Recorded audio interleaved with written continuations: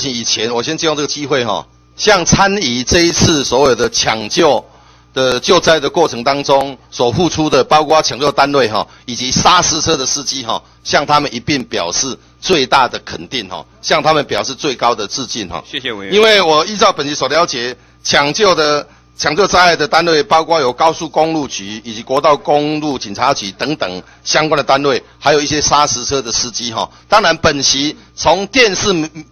电视荧幕里面去了解哦，事实上他们每一位都非常的辛苦哈。当然，我也借用这个机会再一次向他们表示最高的敬意。但是，我也借用这个机会哈，呼吁我们所有立法院的同仁哦，大家要朝正面去看呐哈。最主要就是说，因为事实上发生这个所谓的国道三号三 K 加一百附近哈，这个发生山崩事件哦，事实上不是一日造成的了哈，绝对不是一日造成的。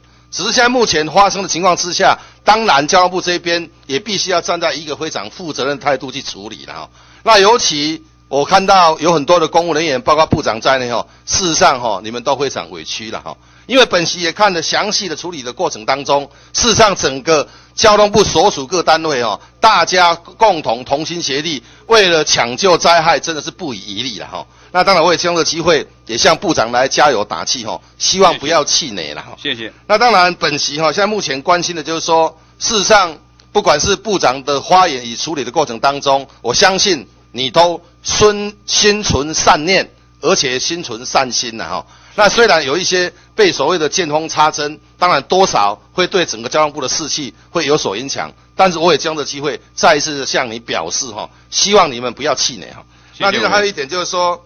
因为现在目前可能本院还有一些委员本身有苛责的声音，这个也是难免的。因为台湾是一个多元化的社会，那尤其是政党政治的哈。那我稍微点了一下，应该你也非常心知肚明哦。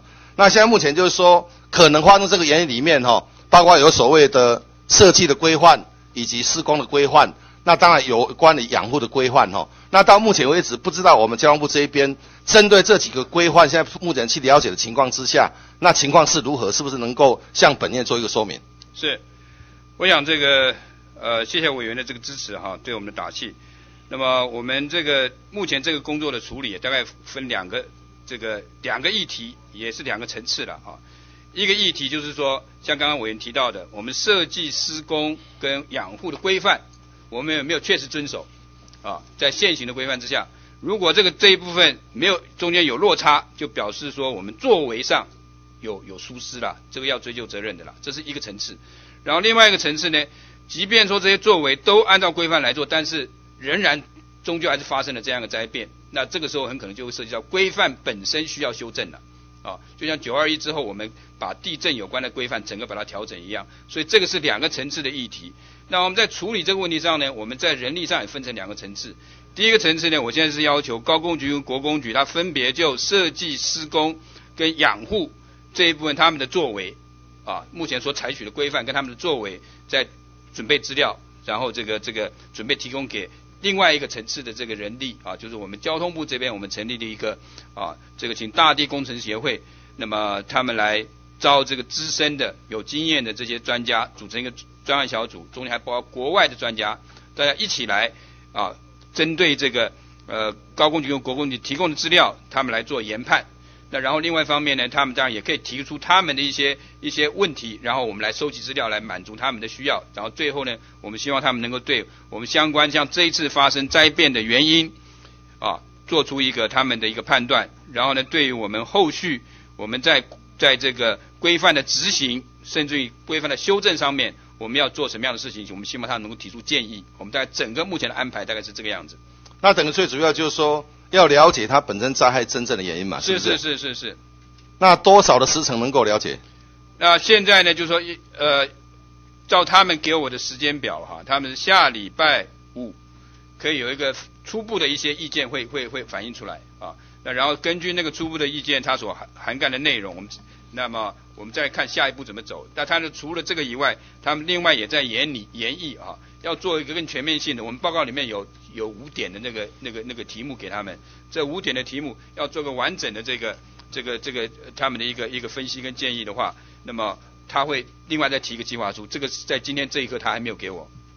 因为会发生这个事件哦，当然也让台湾老百姓本身有知的一个权利。是是是。那必须把整个所有这些灾害发生的原因哦，必须要调查清楚。是是是，我们一定要。然后让台湾老百姓本身也能够了解。是是是，我们这个一定要。那当然，后续还有一个非常重要的，就是说我们将来如果来预防了。是是是。包括今天早上一大早，本席起床以后看到那个电视的报道，有提到一点哈，就台南县国国道三号关庙段的部分，这个是不是听说也是非常的危急的？对对，局长说明一下。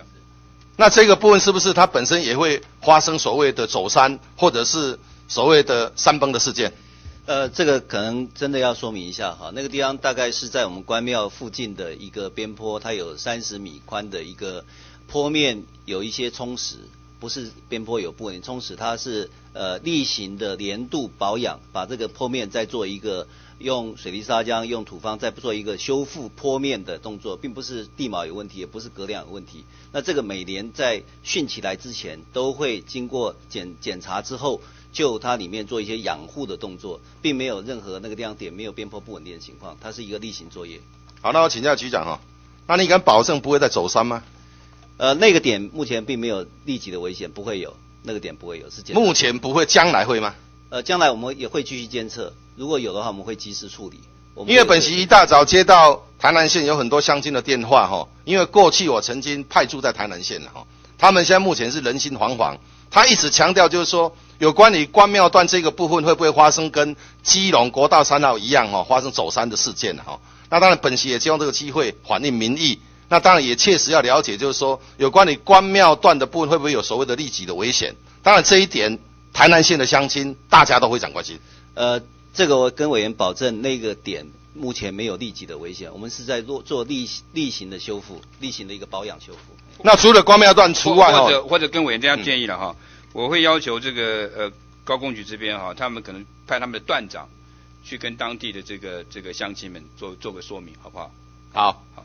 那另外就是说，整个不管是国道一号、国道三号、国道六号等等哈，到目前为止，依照高工局所了解，有没有所谓立即危险的路段？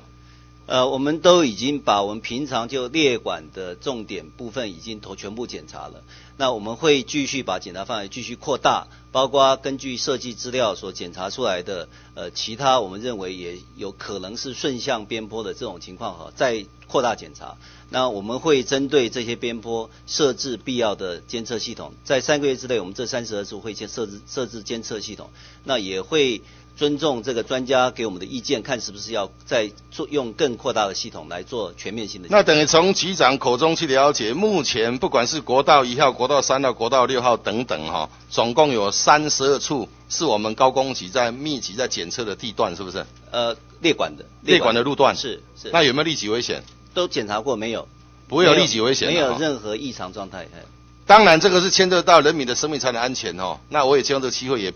请我们那个高工局这边一定要特别留意了哈，是因为发生国道三到七龙这个路段发生这个情况哦，事实上大家都不愿意看到的了哈。那当然，毕竟已经发生，但是要如何来预防灾害继续来发生哦？当然这个是一个重点哈，毕竟人命关天了哈。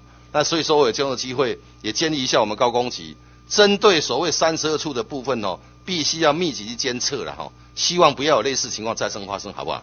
我们三个月之内会完成监测系统，就已经开始监测了。好，那当然，本期也会场肯定包括交通部哈，另外也已经责成所谓的国工局、高工局组成工作小组，就设计以及养护的相关的议题哈，能够做一个全面性的检检讨了哈。那而且也已经有关于那个立，有有有关于我们交通部哈专案小组哈，目前正在积极的作业当中哦。事实上是交通部是有在做事情的了哈。但是毕竟本席有听到有很多不同的声音，就苛责的声音哈。当然，我也希望我们交通部这一边哈，能够适时哈，能够反映一下，让台湾老百姓本身能够知道哈。不然的话，现在目前有一个现象哈，假如苛责声音太多的话，那可能大家会误解我们整个行政团队哈，对整个行政院所属的团队，当然也会多少有一点影响哈。所以说，本席也希望这个机会，向我们那个交通部这边来做一个建议哈。那另外就是说。因为本局所了解，行政院也已经在二十八号那一天，已经针对所谓的罹难者的部分，发给他们家属每人有一百万的慰问金嘛，对不对？是。当然，后续的就是说，包括本院的同仁，大家非常关心，就有关于国赔这个问题。当然，本身我从资料里面可以看到，了解是交通部以及高工局这边有在协助所谓的罹难者家属哈，提出所谓的国家赔偿了哈。那当然，我也希望我们交通部这边哦，倒不如比较主动一点了。主动一点就是说，因为我个人的认知，应该这个是国赔一定会成立的啦。因为事实上，它是在高速公路上行程行驶，结果发生所谓的走山的事件，结果它本身生命不保。当然，这个情况之下，我认为跟国赔是息息相关的。所以我借用这个机会，还是大胆的做一个建议哈，倒不如就马上发放国赔了。是我我们现在尽快来处理这个问题。好，谢谢。好，谢谢啊，我们就休息二十分钟哈，本来休息半小时啦，应这个图醒者的要求，我们休息二十分钟哈，让大家用个便当哈，谢谢。